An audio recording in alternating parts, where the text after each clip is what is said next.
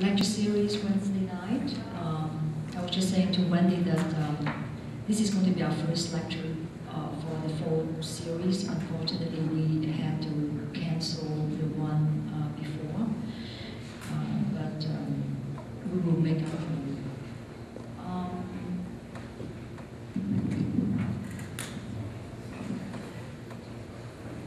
I remember the um, the moment when um, Craig and I were walking down from uh, this full French bistro um, that has opened on the back street around the corner from our studio in Santa Monica, and I think that must have been what 15, 20 years ago.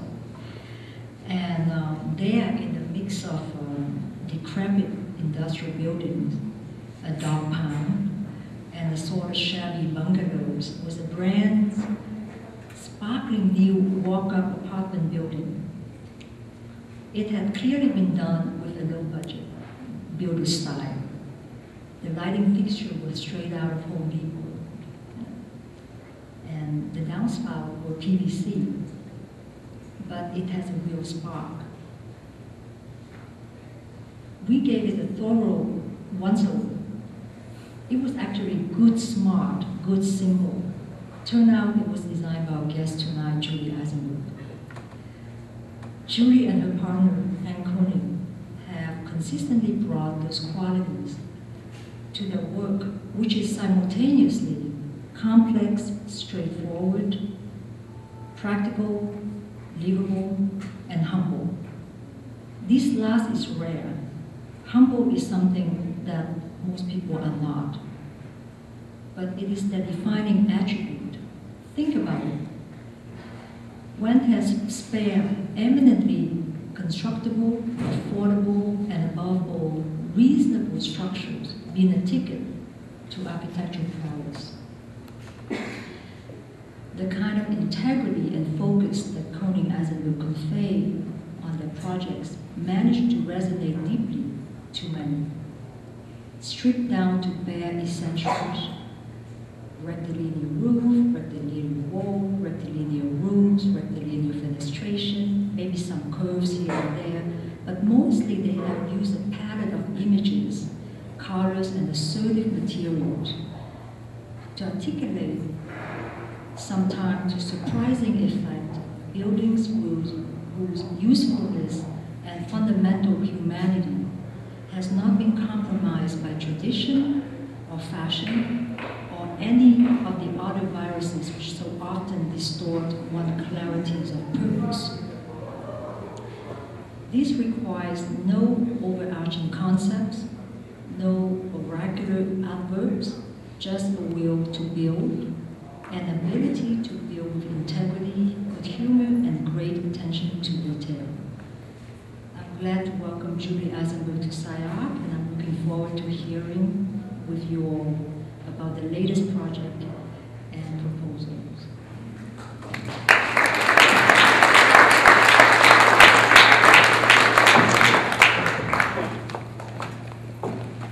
Hi. Uh, some of you know me, and some of you who teach here have known me a long time. uh, what I noticed at SCI-Arc is, uh, I think I'm trying discussion at the end, give you time to think, is this is a place where beautiful things are made. But it's not a place that I get the sense that much discussion happens about context. It's that kind of dirty word. And given that our poor studio has been asked to deal with context, I thought I'd do three projects that in their own way make, make the context work for them. So this is us. Well, it was at the beginning of the year. Some of them have moved on and some of them stay on with us. Um, we have a great team. We think architecture is a personal communication of people talking to people. And now I've got to find the right button to move. I think it's this one. Um, well, that was us on the outside. The inside of our head is a little bit uh, confused. But it's actually a place where we try and reconcile everyday living the things that we hear and see from relatives who don't have good design taste um, to watching people in the street just enjoying themselves with the bones of a city that isn't really particularly beautiful. Um, we subscribe to doubt. We think it's a good virtue. We're not about unilateral answers, but we're very keen observers. So this lecture about context is about relationships. Some of us have better, better luck with that than others. I've had very good luck. Except that the one I got has a really bad sense of humor, but you can't have everything. Um, so the first one, we're going to go in grades from building to town to city. So the first one I want to talk to you about is in the news. It's the Huntington Hartford Museum. It was built around 1964. The architect was Edward Durell Stone. 57,000 square feet plus, of, which was vacant since the early 90s. It's a two Columbus circle, and if you've been reading the papers, this poor building has been taking a beating. It was an invited competition. Brad Cloepfil won it. I have no hard feelings to Brad Cloepfil, but actually the, we were an invited competitor as well. I think this is one of the best buildings we've done and would have been a much better answer. So here we go. I get a chance to be to gripe in public. This gets back to Brad. Too bad. So here we are at uh, Two Columbus Circle. It's in a little pink circle. And you'll notice Central Park over there. And you'll notice the avenues to which it uh, addresses. Now the Huntington Hartford, truthfully, is not, was not the prettiest building in town. And if you walk with your brother, or someone out of architecture, they say, my God, that place is forbidding. If you start to walk with others, you start to hear different stories. This is what was built. And you'll notice the high, which only came about by accident because the architect was asked to add more windows on the restaurant floor. But this is the most this building goes towards communicating with the city. Now, I'm not an architecture critic, I really don't have this right, but this is a lot of fun. Um, the program they gave us was easy. A theatre in the basement, a lobby in the middle, galleries for the next five floors or so, studios and offices, a restaurant with a view out to the park, and uh, lofts above. It had some incredible features. These uh, stairwells with the cutout uh, windows. Ah, now Marlon Brando didn't work here, but he inspired the superintendent who'd worked here for 40 years. And the superintendent was 60, maybe more, and he still dressed like Marlon Brando, complete with the matchbox in the t-shirt at the, at the end. And it's people like this that actually give us our first, well, maybe it's me, our first kind of visceral connection with the place. This guy had been doing this job for so long, and this building meant something to him. And then as you read the press, you heard people like Tom Wolfe talking about this building, and you heard Herbert Muschamp talk about how significant the building was as a, uh, as a symbol, actually, of uh, gay rights in the uh, 70s and the 80s. It's a funny story that sometimes ugly things have more importance than just being polite. And just because we grow old and grey and dumpy and ugly doesn't mean that we should be trashed. I think the, the, the memory of a city needs to be more generous than that. Um, the inside of the building had a very small footprint, 14 foot 7 uh, inside. That was easily expanded by taking the glass line out to the wall line. You could get 24 feet. Um, on the upper floors, it got more tricky. You had the stairway system interrupting the, the space, and you had 19 foot clear gallery space, which was rough. Um, so we came up with the idea that we could get 24 feet from the elevator to the outside wall by turning the elevators the other way and redoing the circulation. Uh, but that meant we needed to put the visitor circulation outside of the skin of the building. Now there's one thing you need to know about this building. This is not a column and uh, floor plate building. This is not a core thing. This is a load-bearing exterior skin building. So any incision you make, you, is there a pointer somewhere? Uh, probably not. Any? Now how do I do this? Oh, use mouse. Oh, look, mouse.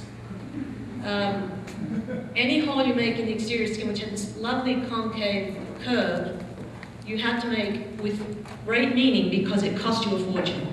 And these guys didn't have much money. So the smaller the opening, the better off you were. So we added, I'm looking for my mouse again, a vitrine on the outside. where people could be seen for once, and you could also see out. Um, I knew I was in trouble in the interview when the lady with bluish hair said, um, what did you think of the uh, Huntington Hartford? And I said, I think the building sucks. And it was downhill from there. The next really good question was, and I've been inspired with this slump glass by something that um, Eric had done, I think, in Russia. The next question I got was, how do you clean the glass? And I knew it was, you know, it was a gone. People were looking for reasons why not.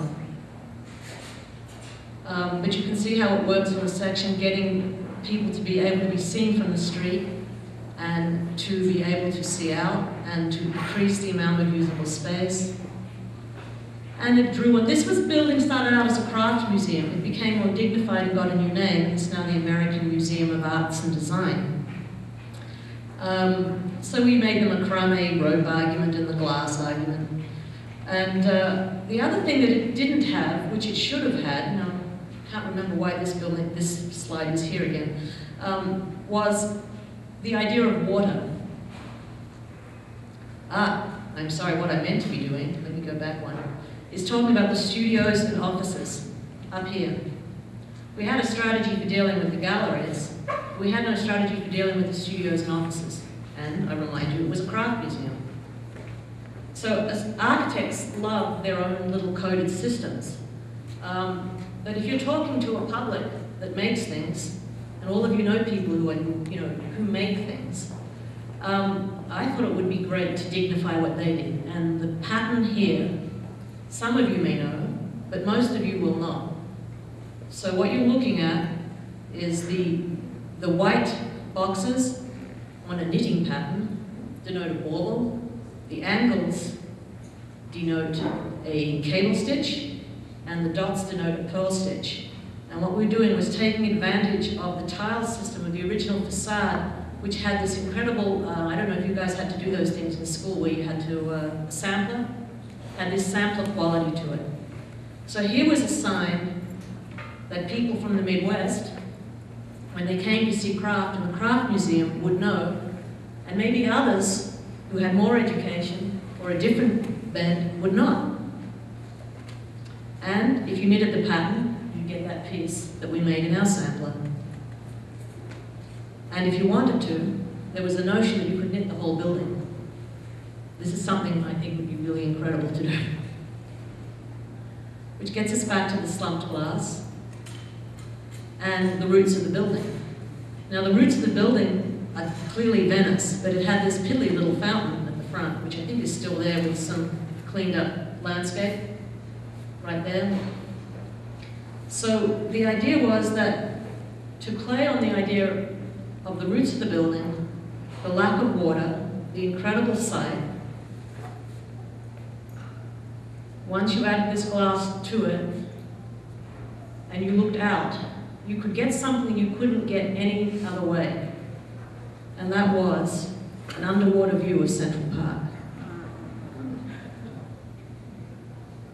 Lake Elsinore. And this is the town. It's actually a city, but it's too small to be a real city. Riverside County, you know, Lake Home Foreclosure Central. Population 49,000, incorporated in 1888. 33 square miles of land, 5 square miles of water. And they wanted a civic center. 100,000 square foot plus program and as it turns out, as we found out in the end, uh, Ming was one of the jurors. So she knows these people, so you know where the punchline is going. um, and they wanted a program to propel economic development through enhanced identity, provision of new business opportunities, new community resources, and community open space. And we were one of three finalists in 2007. This is where the story starts to get interesting. So for those of you who don't know where Lake Elsinore is, you take that little blue freeway, all the way down into deep Riverside County. And there's Lake Elsinore. And there's a lake. Well, there was a lake, and then there wasn't a lake, and then they have to pump the lake with water. It's not in the healthiest of uh, states. The red line is Main Street, which is a bunch of one and two story stores, and the red dot is the site that was set for the Civic Center. So for those of you into programs, it was a mixed program. Some of my students would be interested in this.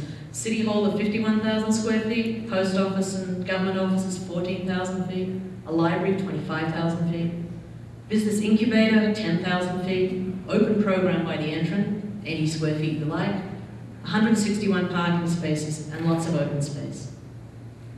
Now, are you beginning to get the flavor of this place?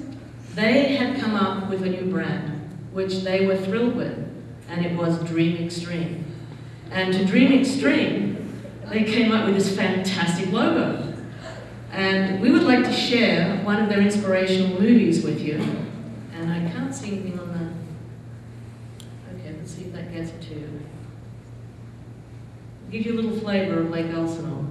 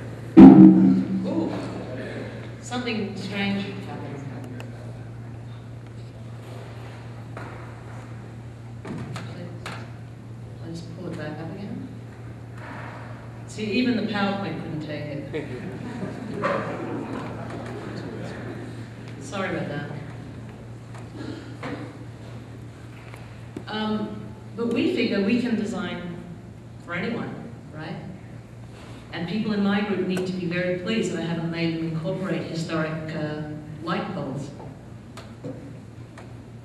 Ah, come on, guys. I'm sorry, I was just waiting for this to come up, otherwise I'll... Oh, a whistler, maybe there are more whistlers.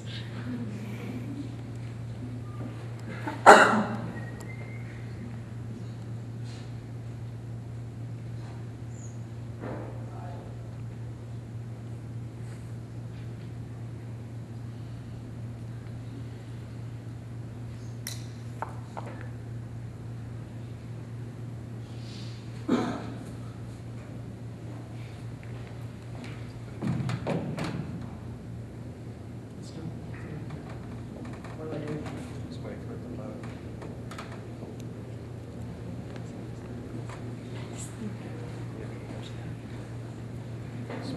Ah, Who would have thought an inspirational video would blow up? Too much inspiration. Too much inspiration, too extreme. Too extreme. I'm just gonna get through to where we're meant to be.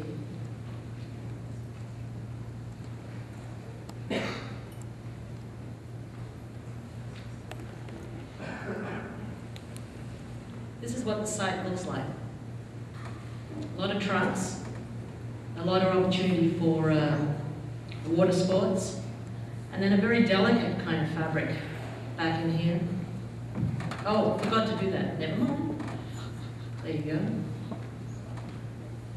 Um, what they really liked were the trucks and the speedboats, which we didn't have a problem with. Uh, what they didn't see much value in is any of this, any of this kind of loose uh, town feel. And truthfully, we knew what we were getting into. A Republican town seeking help from architects to envision a better future for their city. That was them. And then there was us. We see opportunity for cultural placemaking in a context where we knew we needed to suspend disbelief when we see the value of design. So now you need to travel with me and see all the terrible mistakes that we made that got all the three um, finalists for this competition in front of the city council to be berated in front of the community. We'll get to that story in a minute. So here's the site. It was actually two sites. There's Main Street, the solid red line. And you need to make a framework for thinking it. There was a creek that uh, pumped water in and out of the lake. But let me back up a bit. I talk a lot about sites having legal boundaries as being a literal boundary, but sites have conceptual boundaries. In this example, it's an easy boundary to understand. It's the watershed. If you want a sustainable strategy, you have to understand where the water comes from and where it's going. So the setting has value. You also need to look at the connections. Highway 15 comes down, Main Street's the main drag that comes off Highway 15. Then it uh, veers, unfortunately, in this direction, whereas the waterfront and actually investment in waterfront connection is down here. Here are the boat slips. Here's a little bit of foreshore park. But there is no connection quickly down to the waterfront. So we figured we've got to do something with the Civic Centre program to get things to turn a corner. So we placed the administrative and office kind of functions in the two pink belts and figured that that would be an excuse for people to walk down the street, turn the corner here, maybe go through here, or drive down very fast and very loud in a very hopped up truck so you could go to the boat slip down here. Then you want to look at the identity. I mean, what better identity for Lake Elsinore than Lake Elsinore? So anything that improved the waterfront was going to create long-term value for the city. They had already invested in some park here and some foreshore there. There was a small park over here.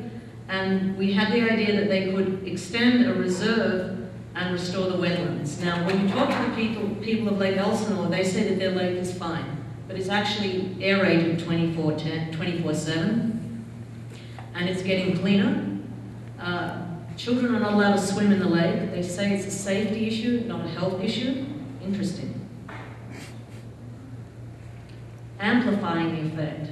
So you've got an idea about watershed, you've got an idea about connections, you've got your key pieces in place, and a way of connecting things and then you say, well, you know what, I can expand this idea to say that what we're going to do is reinstate a green belt and bring people from the town, the small businesses that are struggling, and for the pe people of the town to have a better connection to the foreshore. And that will also bring tourists, and that will bring money.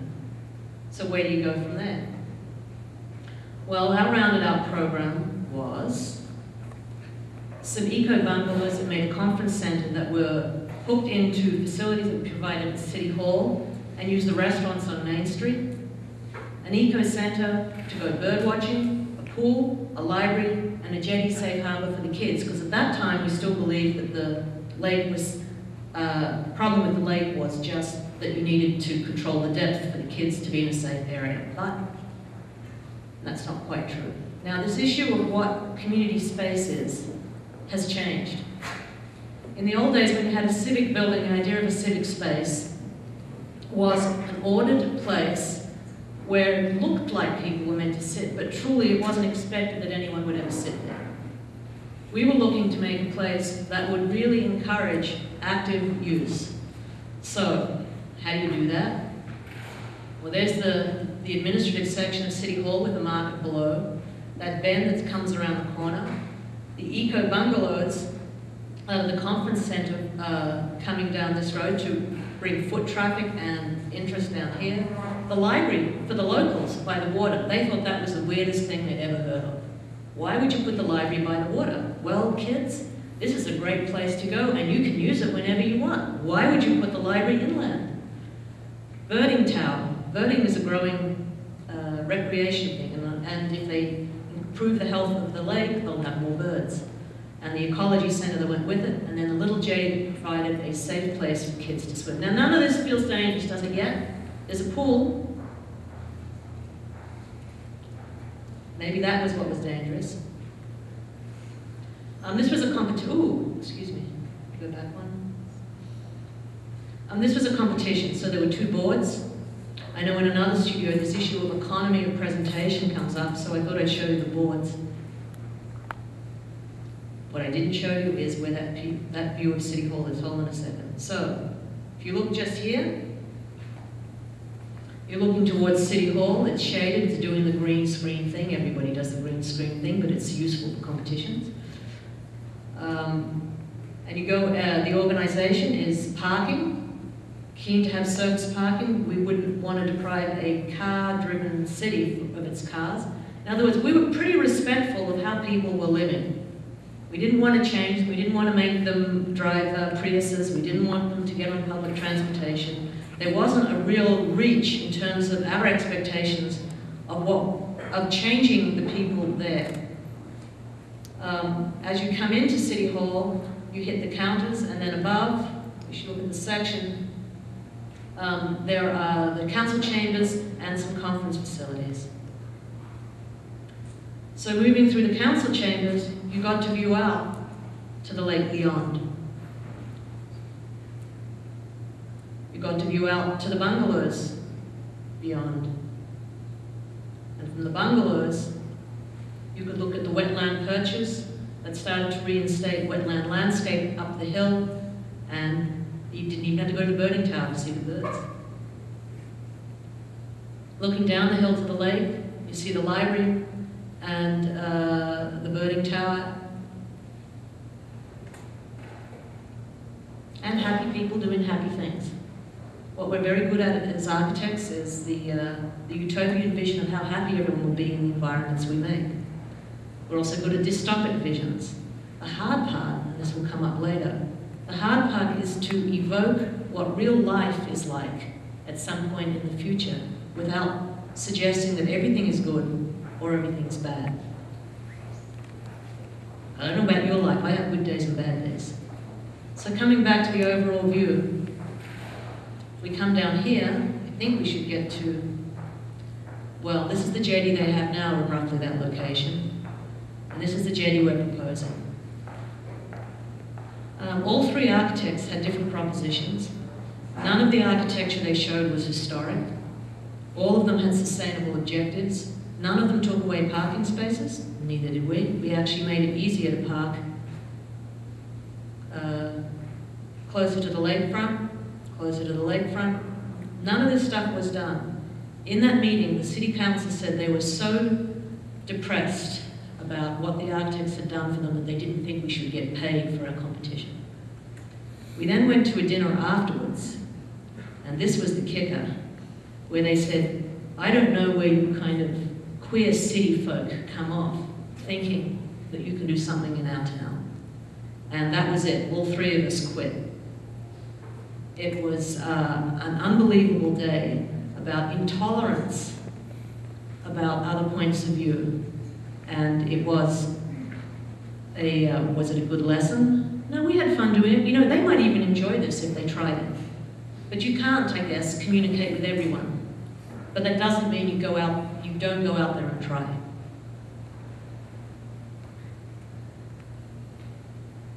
Okay, third place, a city. This one was started a lot longer ago. A couple of wolves and a couple of twin kids, as I believe. Uh, 753 BC, although there's some argument more or less of a year or two. How they work this stuff out is beyond me. Uh, currently has a population of 2,700,000 people and an area of 496 square miles. It has a very large city boundary. Because if you work the density back for that, it's not that high. But Rome is certainly dense in the middle. The project we got involved with was the uh, Uneternal Rome exhibit as part of the Venice Biennale. We were one of 12 visions for the suburbs around Rome. Um, we called our proposal off-centre and online. And uh, it was a great opportunity to think about the way we thought about things. Um, now, how do you think about Rome without thinking of like things like Roman holiday? So I have another movie clip, but I'm afraid it's gonna, well, we'll see. Should we try? I have two scenes of people's on Vespa. We can either watch Roman holiday, or we can watch Fellini's Roma. Um, I, I think it's good to see both, if we're lucky.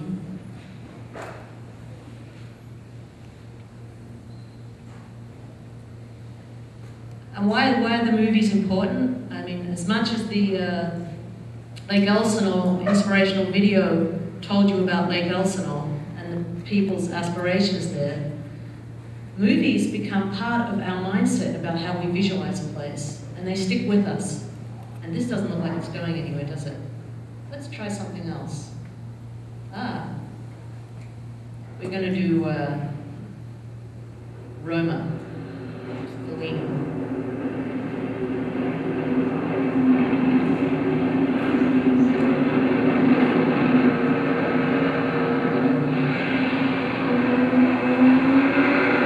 And you just happen to be cruising by some fairly old stuff, some important statues, Roman streets,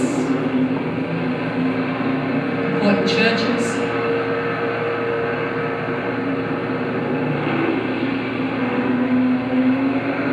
Is it a escape I press? Which brings us to the Eternal City. Um, the Eternal City was represented in a map in 1748, which some people argue froze planning um, because the Nolli map became so influential. What was so influential about the Nolli map? It was actually the way it depicted public space. It didn't just show the streets as white, which was the notation for public space, it showed the inside of churches. And I lost my cursor, it's coming back. The inside of churches and public places as white. This was a big, a big deal. In 1978, uh, it must have been some anniversary of the, uh, the Nolli map, a bunch of important uh, architects of their time, including Robert Venturi and Colin Rowe, and Michael Graves, who now designs for Target, Leon Krier, Aldo Rossi, Robert Krier, and they came up with a bunch of interventions within the Nolli map area. And the Nolli map was divided into these uh, 12 plates. Uh, am I counting right? 16? One? No, 12 plates. And uh, our job was not to see what we could do to outshine those guys. Those guys gave us postmodernism. They also gave us the first intrusions into sort of uh, idiosyncratic geometries that would create other things. Postmodern space. We really felt to uh, the eternal city, Rome, was such an overpowering uh, weight to it that we needed to, to look at the suburbs. We had to sort of unbundle the center of Rome from the periphery. And we set about that exercise with an X-Acto knife. Cut out the middle of Rome, which you now see shown as white, and then started cutting. And you'll see the red line, the round circle. That's the uh, GRA, the ring road that goes around Rome. It's their freeway. It, uh, it's served, I believe, by 12 uh, axial roads from the middle and a sort of slightly dysfunctional uh, rail system. And what you're seeing in the dark black are the areas of urban development. Uh, the GRA is about a 60 uh, kilometer circumference. Keep cutting. When you're thinking of the Nolli space and the idea of public space in the eternal city as those white lines, it seemed to us that probably the closest approximation in contemporary terms was probably the freeway. So we unbundled around that freeway until we had the freeway free of Rome and as a straight line. That was step one, psychological relief. Rome was over there, the suburbs were over here. And they were in a straight line, something that people from LA understood. So it's 2007. We've got to move, we've got a sort of psychology in place, but where else do you go for information? Well, where else? Google Earth, of course, right? But you can also locate with a plugin that uh, Nathan Bishop in our office discovered, which I recommend you. You can, you can locate YouTube uh, film locations. And that's what that's marking, so we looked them up. We saw the jumpy stylus non criminus est, whatever that is. It's a, uh, a logo for a, uh, a jump style performance piece. I, I think it's on skateboards, as I recall. At the same time, you can see the kind of countryside that these people are inhabiting. This was a Tiger uh, kayak den, Uh, prostitution, alive and very well in uh, Rome, particularly in the suburbs. Uh, outdoor markets. If you listen to this one, which I don't have uh, in video, it uh, you hear you don't hear Italian music.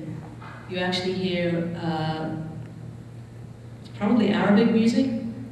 But one of the things about Italy that you, the YouTube thing starts to tell you is that um, Italy isn't just for who we think of as Italians anymore. And if you look up the statistics, you start, this is the Shahin Alam market, you start to realize that Italy is a declining population. So much so that it is, uh, the in other words, the birth rate isn't fast enough for them to recreate. The only hope they have is to become like LA, frankly, and embrace immigration, which is something they're having a little trouble with. Um, and there's been a change of government, partly to do with uh, a lack of tolerance to immigration and a lack of understanding of what great opportunities immigration will give them. We looked at romantic ideas. The Starlings above Rome, something that everybody talks about. They move in these swarms, they're absolutely beautiful.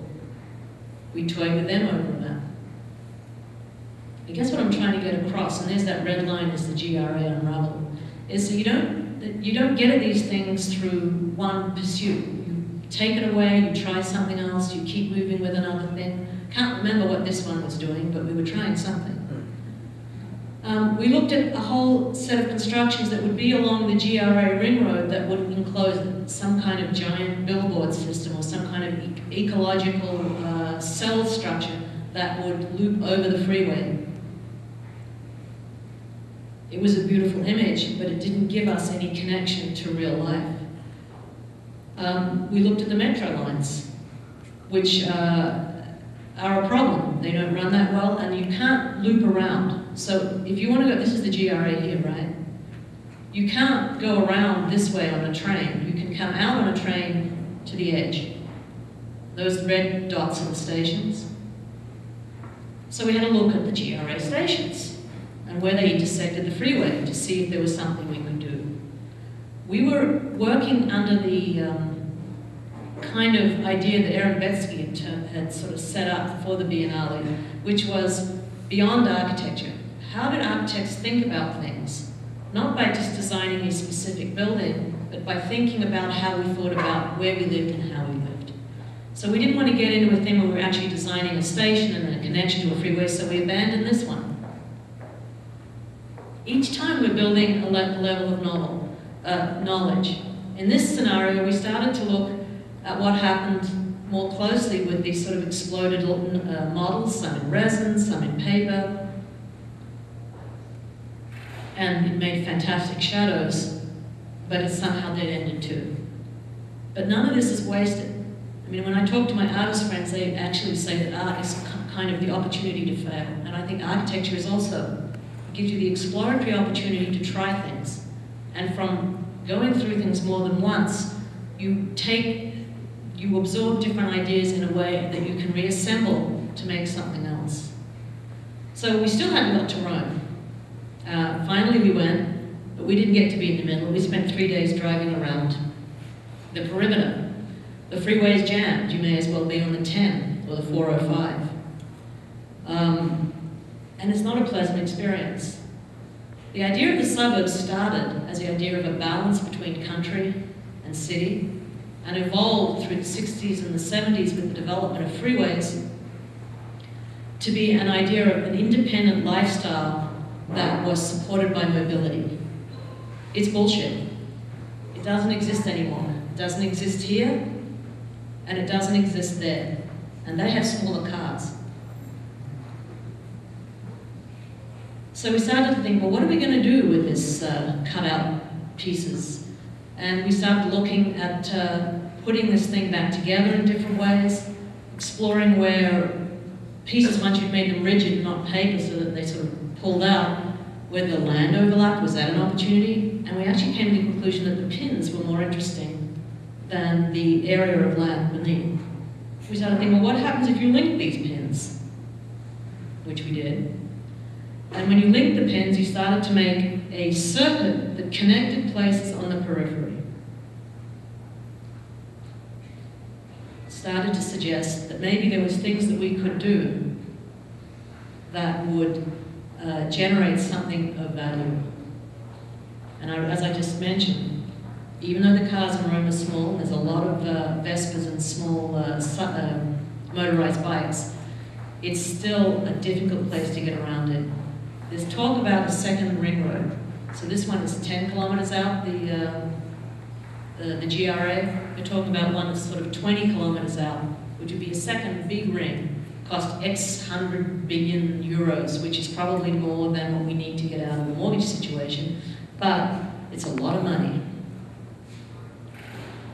So we started to loop around. You see the red line, which is the GRA. You see the pins. Um, you see green, that green line that was evolving in a straight line when we put it back together. So we said, you know what? Screw this idea of a, uh, a second ring road. What if you could do some heroic civil gesture that would link places that are kind of disenfranchised and intensify development within a limited area rather than using that ring to spread it out further? So we came up with this idea of a fast train. We wanted the Italians to design it, although we knew it would be late But we thought they could do beautiful things. As a matter of fact, they have designed fast trains before, but they're somehow, and there's a conspiracy theory for everything in Rome. If you haven't been there, you should go there and just listen to this stuff. Uh, and maybe they're right, because what happens is there'll be a deal cut, for example, to uh, build a shopping centre, and that they were going to bring a light rail line and before the project is completed, the light rail line part has fallen out away, and the big packaged, big box retail centre is still there.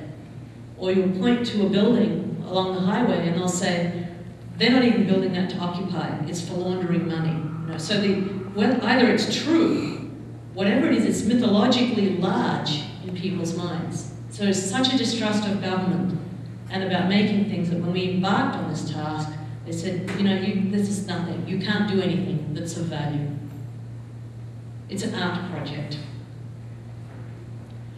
Um, but anyhow, as we talked at this, we were looking to notate what would happen if the train line went through. So we tried to identify three sort of suburban conditions. One that required reshaping, one that required reinvesting, and one that required revaluing. Um, reshaping. This is the uh, big box shopping centre before it was complete. And an exit is not a destination. This is how it looks. Nothing wrong with IKEA, nothing wrong with a day at IKEA. But possibly if the way transportation and development worked more in sync, you could have a different idea about how you would interact with this kind of uh, retail environment. Reinvest. There's so much crumbling building in the suburbs of Rome, it's unbelievable. They have some of the most beautiful and heroic affordable housing I've ever seen. Stuff that you guys would love to do, with streets in the air that were for retail that are now boarded up, with uh, all sorts of fantastic stuff. In Tor Bella Monaca, which is the kind of equivalent of the south side of Chicago in the 60s, mainly inhabited by Romanian people, there is one community theatre, which is one of two located outside of the center of Rome, which tells you a lot about where Rome puts its money. It sees the suburbs as pretty much valueless. That's affordable housing in the background, and this is one of these crumbling linking structures in the foreground, which has been boarded up. Where we're looking from is the Tor Bella Monaca Theatre. What's wonderful about Tor Bella Monaca's theatre is it had two great programs. And you would have guessed it from the YouTube kind of stuff that we'd seen. One was uh, the Romanian dance program, huge immigration from Romania. And the second one was a hip hop festival. So there's this whole issue of how Rome brings the idea of multiculturalism together. Revalue. I've never seen such beautiful landscape. And it's not a landscape that's gone unnoticed by others. You look at Poussin and Claude Lorrain, they spent a lifetime painting it. Um, it's so beautiful and so undervalued. Philippine uh, emigres taking advantage of the park, pretty much like immigrant groups do in LA, group, uh, joining an extended family, and you, if you, it's a free place to, to, to hang about, but it's not used by the locals. When you walk around here, locals meaning Italian descent. Italian descent people don't like to walk in the park, I don't think. Apparently they used to. It used to be the, the ritual in the 50s and the 60s to go for a drive to the Campagna Romana and have a picnic. That doesn't happen anymore. But there are no toilets, there are no services, and it's amazing to see these monuments, thousands and thousands of years old, with uh, piles of toilet paper and garbage all around them. So we figured if we could invest in a higher power,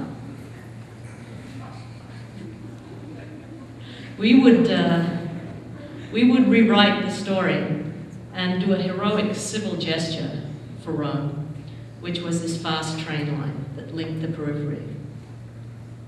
Then you get to the issue of representation. Here's one of those Claude Lorrain landscapes, and the idea of what a journey in, uh, in Rome would be like, uh, around Rome would be like. What's interesting about the journey is that this issue that I brought up when we talked about Lake Elsinore.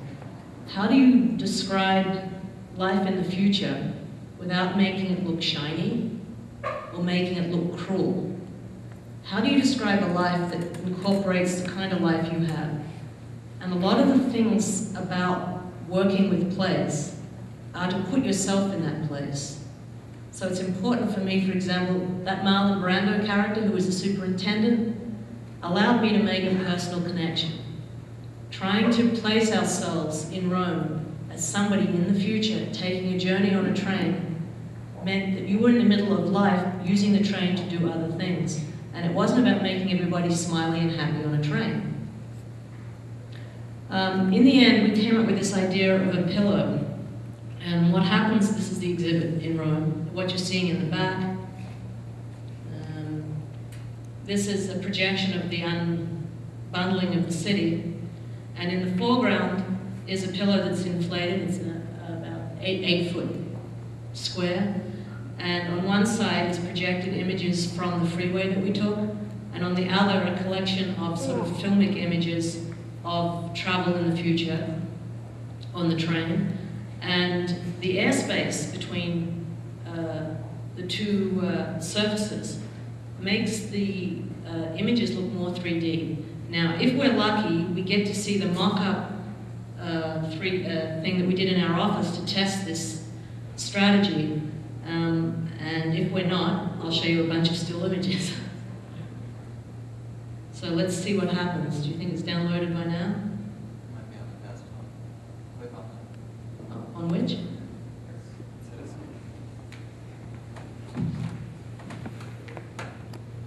So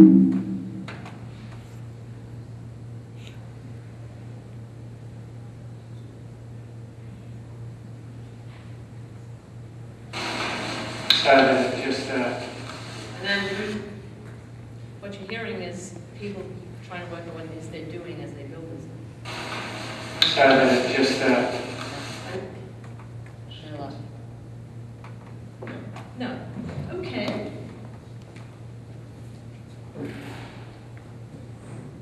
Um, so what I'm going to show you is a series of still images. And what happens is, uh, so the lady is going through the landscape. We the train as a physical train, but as a presence. And when the train goes by, the freeway works again, because it's changed the loading. Added a little restaurant where the ruins are, might have bathrooms. Zoomed across the, the aqueducts. Saw Banksy who'd uh, defaced a sign. Saw a different kind of IKEA, where you could get meatballs, but you could also do displays outside, um, visible from the train window. Where a little kid would want to go back to that place in Tor Belladonna where he was on the Ferris wheel, and where you could buy a gyro at the Hollywood Bowl, after me, um, but in Torbella Monaca that had a world music festival. These are all sort of small human gestures at, um, at something. I just want to share with you, and I know it hasn't been a very long lecture, but I hope we have a, a discussion about this because I think context is one of those issues that I think we've been avoiding uh, culturally as architects because it became so much about fitting in. I don't think context is about fitting in. Context is about a game of revealing. So this G.K. Chesterton quote works for me.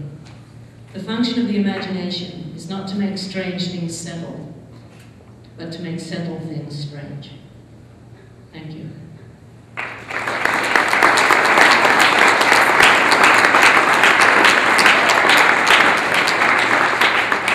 So I hope there are some questions and somebody who disagrees. It's a sci article, come on, good argument be great.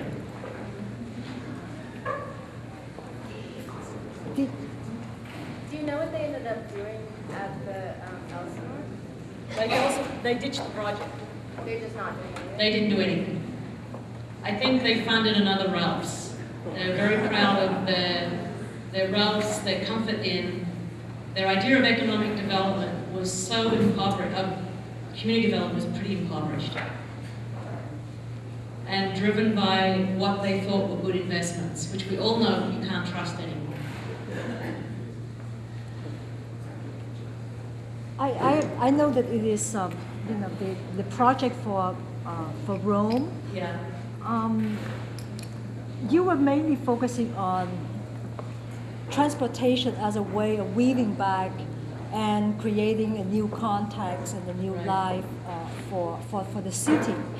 And I'm just, I'm just curious in terms of when you were beginning to show uh, a, a certain kind of narrative and experience of going through the city w- through motion, Yeah. which what Rome is to a certain extent when you go to the center of the city is all pedestrian, and I'd just like you to, to kind of address those two pedestrian versus versus Pedestrian versus different kinds of mobility. mobility in, in Italy, which I think is, is has has this duality in terms of you know how do you Mobility in, in Italy is different.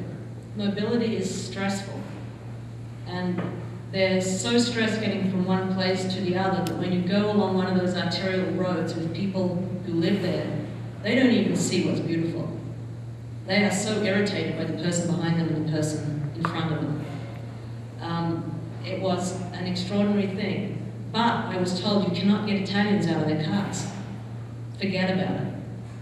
Um, the reason the trains don't work arterially very well, and mainly they serve the same way that public transportation has historically here, has served uh, immigrants, doesn't serve um, Ro- uh, Roman-born or Italian-born. Now that's the wrong word either, but because eventually immigrants have kids in the places they are, and they're Italian-born and they're Roman-born and should have the same rights. Um, but Italian descent, let's try that. They don't use the railways. Um, and then there's this, so there's this kind of split culture. If you, if you look at who's doing all the service jobs in the pedestrian-oriented area of uh, Rome, it's Philippines, it's Romanians, it's Poles. Poles control the construction industry.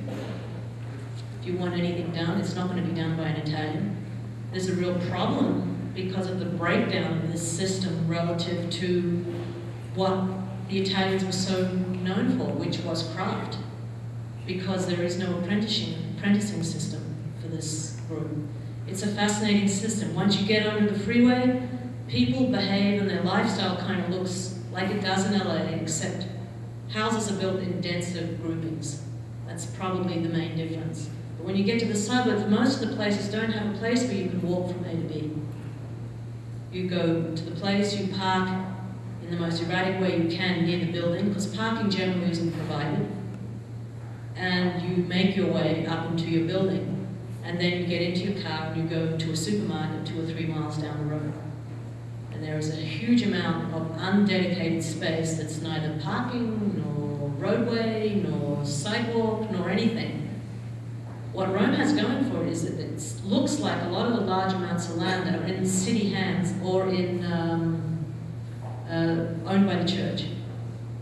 but it's really unclear. We went trying to look for ownership patterns, and that hit a pretty good dead end, as I remember. Does that kind of answer your question, or I avoided it? Well, yes, but I actually am interested in, in, in, in, in another thing, which is Rome has always been, um, uh, it's a place, it's, it's, it's, we learn a lot of lessons from the city about placemaking. Yes. And But every lesson it tells us is stuff that we teach, we don't teach in school anymore. Everything that happens in Rome in the center, if you put that in your project, you get you get slaughtered. The idea of pedestrian space, as represented by eternal Rome, is so reviled among architects at the moment that it's very sad. I'm not saying that you need to put shutters or arches or whatever it is, but the idea about the spaces that you come across and the way people collect is something that is truly wonderful to experience. Now, I know this generation of people connect in ways quite different.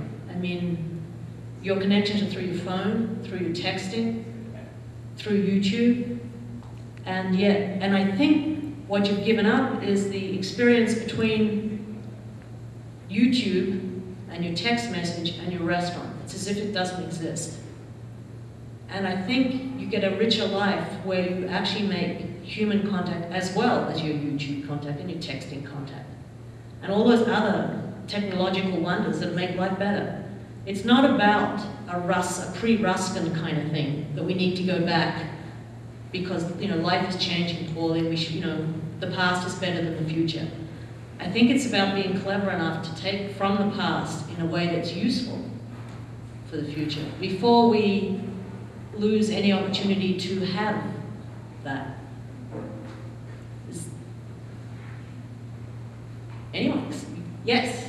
Um, Two things. One is, um, I have been in uh, New York, and I have been in Rome, and I have been in Lake Elsinore. Oh, good, And okay. I want to first commend you for uh, the breadth of uh, projects that you, you take on.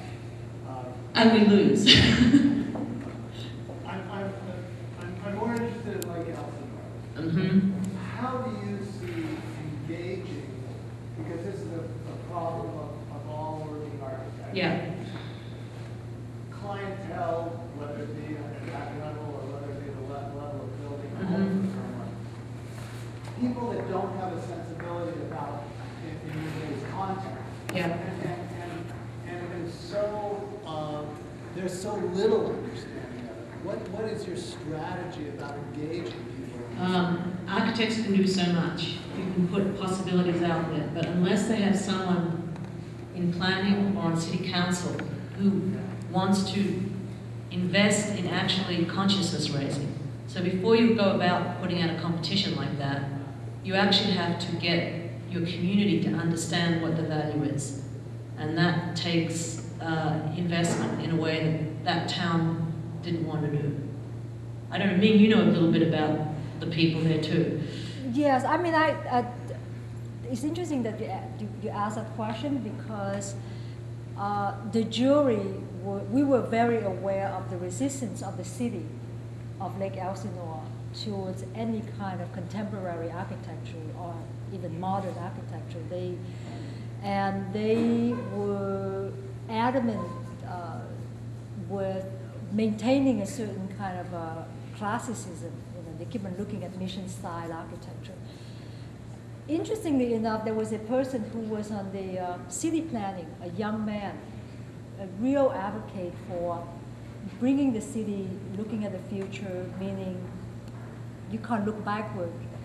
And I, I don't know whether he was fired, but he was a person who brought, who thought that the competition was a way for the city to learn and to, you know, to open, to expand their vision.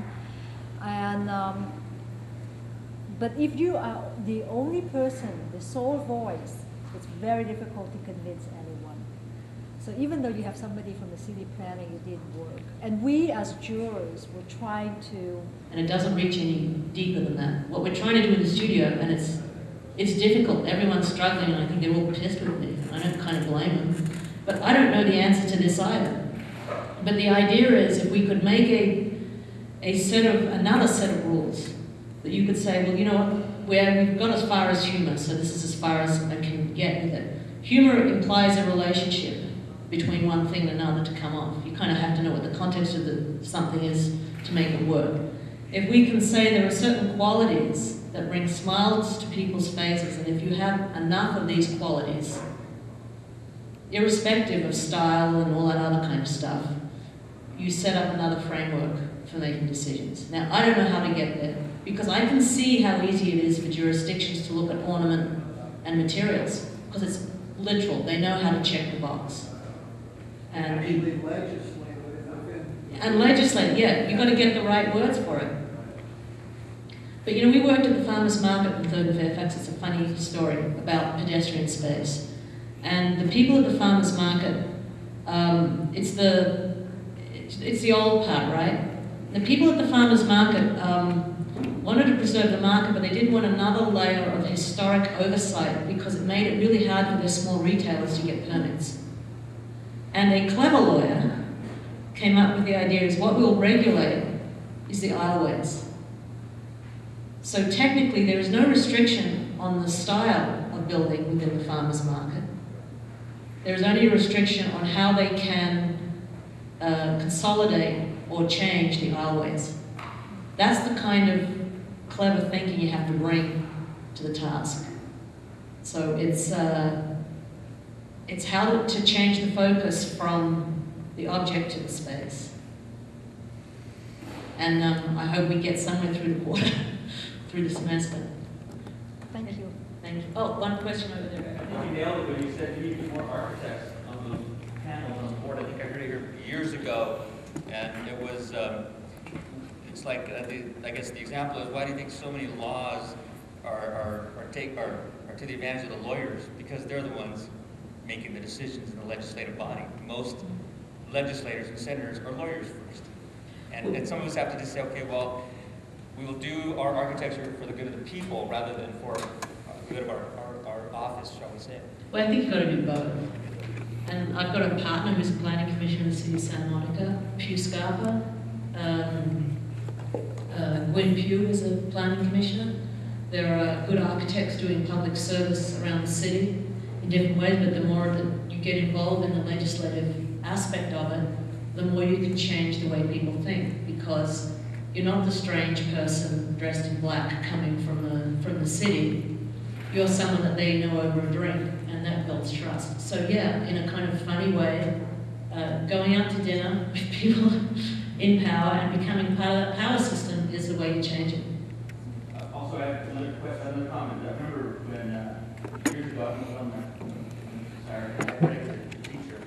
And uh, he suggested, and it kind of resonates here, is we have these little cars, and you just need to get to your location, and the car would be like a shopping cart, where no one would own it, you would just, it'd be the public use, and you could just go there, um, maybe public transportation, Yeah. and uh, hop in this little car, you drive around your destination, as long as you return it where you picked it up. Well, you It mean like zip, it's a like- zip car system. Exactly, yeah. But we were hoping to put a zip car system into Rome. But uh, then we showed one at uh, the shopping centre. We showed a tree at the shopping centre. There were no trees in the shopping centre. So, yeah. Actually, I had a question on the road project. I haven't been there or anything, but I was just listening to the way you were talking about it. Right. And you, the, I understood, I I followed along in sort of the, the ring road and how to play off the ring Yeah. road. But when you were talking about the park space, because park space is really weird here, and you made it seem really weird there, like the, it was rather similar. Yeah. But your, your input in it, you were saying to revalue it was to place some kind of a business center that would add, that would add, you know, a minimal function to it. Why wouldn't you look more at something that would sort of revalue the, the experience of seeing the ruins? Because that's what you really show in your images. Um, maybe too much time in, uh, in the field and wondering what you could actually do and what would fit their expectation of lifestyle. What I notice with Italians is that they don't walk with coffee, they sit with coffee. And when they sit with coffee, you have a chance of getting a bathroom built. And when you have a bathroom built, you start to, uh, you have a bathroom and you have a, a somewhere to sit, then the the ruin is, actually, people take more interest, they're sitting there looking at it. I mean, you start to Make it- it put the bathroom on the ruin. No, the, the coffee shop. on the ruin, Yeah. Yeah, no, no problem. One of the, one, one of the most wonderful things we came across, and I didn't discuss it, that's, you're absolutely right, is one of the most incredible juxtapositions is uh, the ruins and then a train line running through somewhere where it shouldn't. Or uh, a netting fence that made the most beautiful uh, scrim to look through, and you saw them in the background. Old and new together is fantastic. You know what? The idea of putting the, uh, the coffee shop on top of the ruin, brilliant. I wish I'd thought of it. It's really clever. So it, yes, that would revalue it. That would say this is a cool place to be, come sit here. Yeah, it just seems Yeah. to go along with your whole. Yeah, that's a good idea.